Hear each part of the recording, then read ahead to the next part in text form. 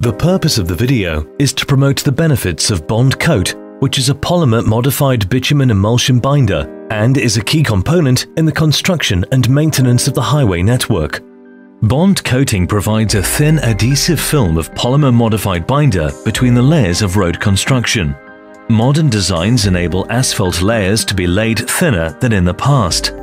Bond coating reduces the risk of slippage between layers and distributes traffic stresses uniformly Additionally, bond coating prevents the ingress of water, a known cause of early life structural failure in pavements. Bond coating also extends the structural life of the highway, meaning fewer interventions and lower whole life cost. The benefits are prevention of slippage between layers, better distribution of traffic stresses down through the road construction, prevention of water ingress, longer structural life with fewer interventions, improved whole life cost. Before spraying, surfaces should be clean.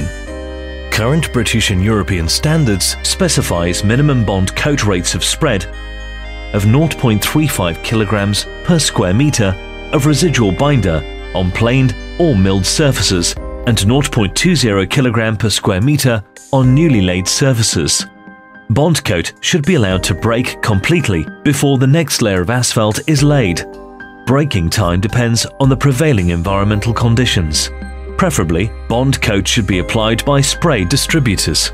They are tested and calibrated annually and issued with a test certificate. During application, the carpet tile test can be used to check the rate of spread of bond coat.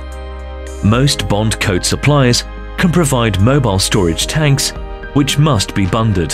For further information, please contact the Road Emulsion Association www.rea.org.uk. Technical data sheet number 5 can be referred to by visiting the REA website.